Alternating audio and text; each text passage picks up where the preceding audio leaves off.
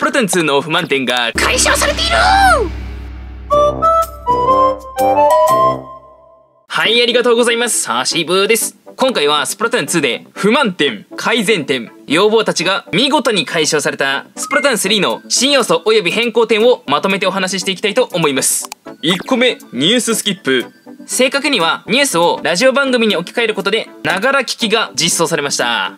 これによってゲーム起動後のニュース中も他のことができるということですね。2個目 MVP 発表。表彰システムによってそのバトルで一番塗った一番キルしたなど活躍に応じてリザルト画面で表示されるようになりました。自分がバトルの何に貢献できているのか分かりますし自分の得意不得意を見つけられるきっかけにもなるのでこれはいい機能です。3個目エモートの変更。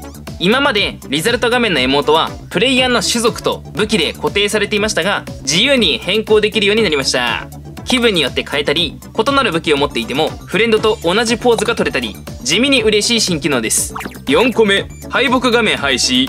これ確定ではないんですが今作はおそらく敗北した際も敵チームの勝利エモートが流れる仕様だと思います。大乱闘スマッシュブラザーズのリザルト画面みたいな感じですね。5個目リプレイ機能。メモリープレイヤーという新要素によってバトルのリプレイを保存閲覧できるようになりました自分の立ち回りを見返したり面白いシーンを保存しておいたりスイッチの30秒録画では足りなかった部分が見事に改善されました。6個目。ゲーム内でプレイヤー名変更。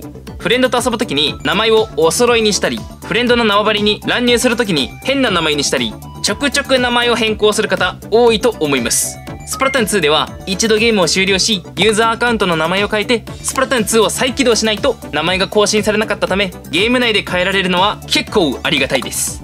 7個目。キャラメイクの幅が広がりすぎ髪型ボトムスアイカラーといった今までの要素ももちろん種類が増えたのですが新たに眉毛まで変更できるようになりキャラメイクの幅が大きく広がりました髪型ボトムス眉毛のカタログ動画も投稿していますのでよかったら概要欄から見てみてください。8個目マイコーデ登録。5つまで武器ギア感度などの設定を保存できいつでも簡単にギアセットを呼び出せるようになりました。9個目メインギアパワーも変更可能。スパイキーにギアのかけらを渡すとメインギアパワーも変更できるようになりました。アミーボなどの限定ギアも自分好みにカスタマイズでき誰でも好きなギアでバトルしやすくなりました。10個目ミニゲーム復活。縄バトラーというカードゲームが実装されパックを向いてカードを入手する楽しさも味わえるためやるのも集めるのも楽しい要素になっています。11個目ゲソコインの新しい使い道持っているギアと店頭に並んでいるギアが被った場合通常はスーパー素材を使わないといけないところを1万ゲソコインでもギアスロットを開放できるようになりました。他にも縄バトラーのカードパックの購入や雑貨屋でのグッズ購入などゲソコインを使える場所は増えている印象です。今作はもしかしたらカンストするほど余らないかもしれません。12個目フェスティの廃止。フェス中の映像には一度も映っていなかったかつ公式サイトにも記載がなかったため服のギアパワーが固定されてしまうフェスティは廃止されたと思います。これでイカ忍者など服専用のギアパワーをつけてフェスに潜れます。13個目三陣営によって日々の悲劇を回避。スプラトゥーン2初期の頃は半年間飯田陣営がフェスに勝ち続けてしまうという謎の現象が起きており姫を選んだ方が負けるというレッテルが貼られてしまいました。飯田陣営は最大7連勝でしたがその後も5連勝したりと圧倒的な勝率を誇っていました。今作は3つの陣営に分かれるため勝率が分散しやすいですしたとえ1つの陣営が勝ち続けても残りの2チームが手を取り合って頑張ろうとなれるのでこれは地味に良い変更だと思っています。14個目トリカラバトルで特別感。低確率で貢献度だけ上がる10倍マッチ100倍マッチよりもトリカラバトルの方が特別ルールで遊べますしお祭り感があって個人的には好きです。15個目。フェス当日に参加できない人の救済。今作には予備祭がありフェス開催前から通常のバトルでも自陣営の勝利に貢献できます。16個目。前夜祭で使える武器。26種類。スプラトゥーン2の時は4種類のみでしたが26種類も使えるようになりました。海外の公式サイトにて記載されています。17個目新たな個性。今まではギアとイラスト投稿ぐらいでしたが新要素ネームプレートとロッカーにより自分らしさを出せる部分がさらに増えました。18個目シーズン制採用。3ヶ月を一区切りとし腕前をリセットしたりエモートなどが入手できるカタログを配信したりシーズンが切り替わるようになりました。19個目熟練度の追加。武器を使用すると経験値がたまり武器の熟練度が上がるようになりました。今までは塗りポイントに応じてバッジがもらえましたがより分かりやすいやり込み要素になって帰ってきた感じですね。20個目。最初から全武器使用可能。ランクを上げずとも武器値ライセンスを多く支払えばどの武器でも購入できるようになりましたので発売初日から持ち武器で遊べます。21個目。食事の効果を味方全員に付与。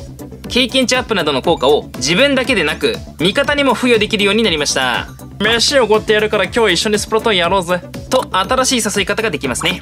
22個目。武器っぽい武器実装。剣みたいな武器欲しい。弓みたいな武器欲しい。そういった要望を叶えてくれました。槍モチーフの武器とかも出てくるかもしれませんね。23個目。撮影モード実装。アミーボなしでも写真撮影が可能になりました。スマホアプリのイカリング3に送信することも可能です24個目。イカリング3でマイコーデリプレイなども確認。スイッチを起動せずともスマホでパパッと確認できるのはシンプルにありがたいです。25個目。イカリング3で塗りポイントを使った新たな遊び。ロブ1という新要素が発表されています。詳細は不明ですが塗りポイントを使って何かできるのは嬉しいですよね。26個目。マッチング中に試し打ちが可能。今までスマホいじでしかなかった暇な時間になんと試し打ちができるようになりました。これは神改善です。27個目。試し打ちでコンピューターと対戦。ロビー内に怪しいオブジェクトがあるためおそらく不規則に動いたり攻撃してくるコンピューターと戦えるんだと思います。弾を当てる練習はもちろんイカロールで弾を避ける練習などもできそうです。28個目。試し打ち中にギア変更。今までは試し打ちを一度やめないとギアを変更できませんでしたがロビー内に全てまとまっているため試し打ち中でもギア変更ができるようになったと思います。29個目編成事故の改善。おそらくですがマッチングしてから武器を選び味方の武器を確認した上でバトルを始められる仕様に変更されていると思います。スプラトゥーン2のリーグマッチみたいな感じですね。30個目新しいギアパワー。現時点ではアクション強化サブ影響軽減の2つが明らかになっていますが他にも新しいギアパワーが追加されるかもしれません。31個目ゲーム内で戦績確認。スマホアプリのイカリングを使わずともゲーム内でデス数が見れるようになりました。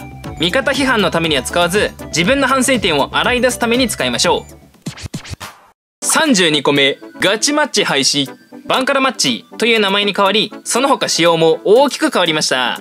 33個目フレンドと一緒に腕前を上げられる。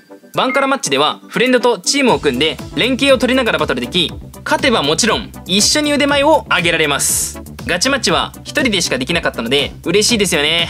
34個目3人でも遊べる。リーグマッチは2人か4人でしか遊べませんでしたがバンカラマッチは3人でも野良1人を呼んで遊べます。普段3人で遊んでいる人にはとてもありがたい機能です。35個目腕前ゲージ廃止。ゲージではなく腕前ポイントというポイント制になりました。どれだけ勝っても連敗したら水の泡になってしまう。腕前ゲージとはもうおさらばです。36個目2ルール開催。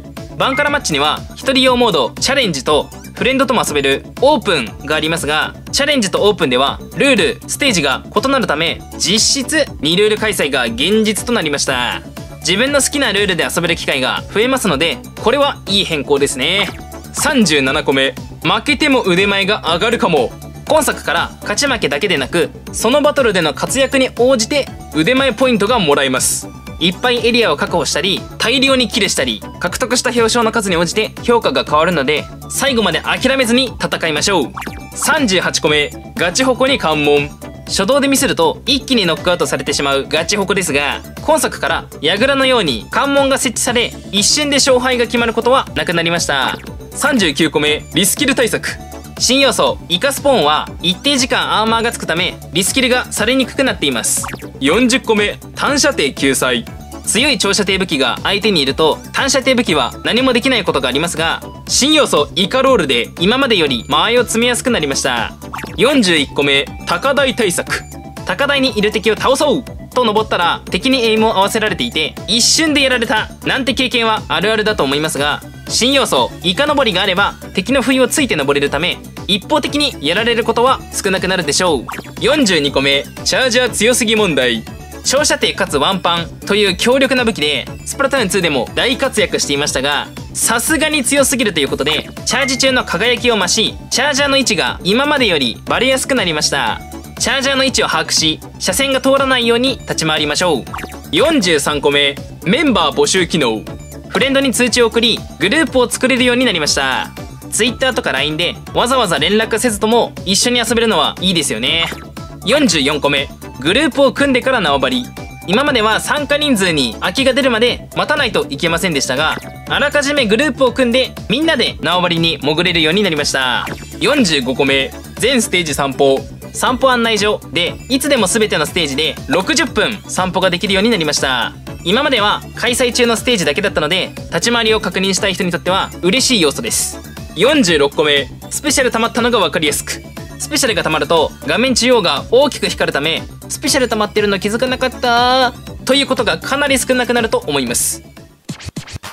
47個目初代のステージ復活金目鯛美術館マヒマヒリゾートスパマサバ海峡大橋ヒラメが丘団地ネギトロ炭鉱塩の目油田デカライン高架下以上7種類がスプラトゥーン2には実装されておらず復活を望む声が多かったのですがスプラトゥーン3ではすでに4種類が内定しており残りの3種類もアップデートで復活しそうです。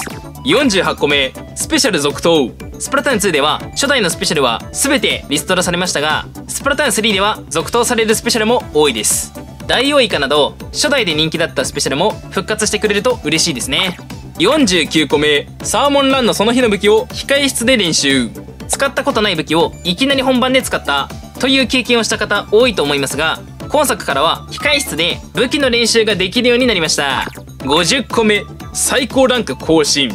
達人の上のランク伝説が解放されより高みを目指してバイトができるようになりました。51個目プライベートバイト。